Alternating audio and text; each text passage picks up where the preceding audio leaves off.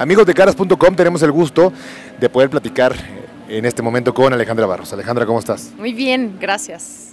Cuéntanos, ¿a quién viniste a ver, por favor?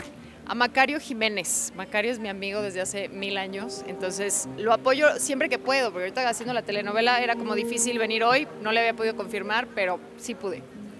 Ale, cuéntanos, ¿qué elegiste para ponerte el día de hoy y por qué? Pues mira, elegí ropa casual y fresca porque ya sé que aquí hace un calorón. ¿Qué has aprendido tú en esta cuestión de la moda? ¿Qué te ha enseñado de la moda que aplicas en ti como regla básica?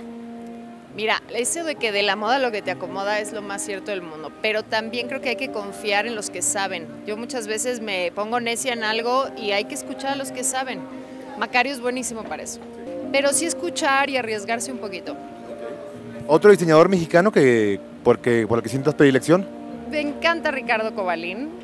Por último, ¿algún error que has cometido en la moda y que a la fecha te acuerdas y que digas, Dios nunca más, jamás?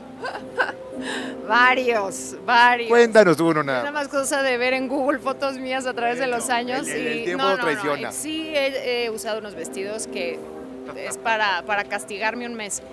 Pero yo creo que la peor atrocidad que hice por moda, ¿se acuerdan en la época de Mecano? Bueno, pues yo que tengo el pelo así de lacio, me lo corté de hombre cortitito con los chinos de permanente acá, tipo Anato Roja. Fue horrible. Corazón, muchísimas gracias. A ustedes, gracias. Continuamos con más aquí en caras.com.mx.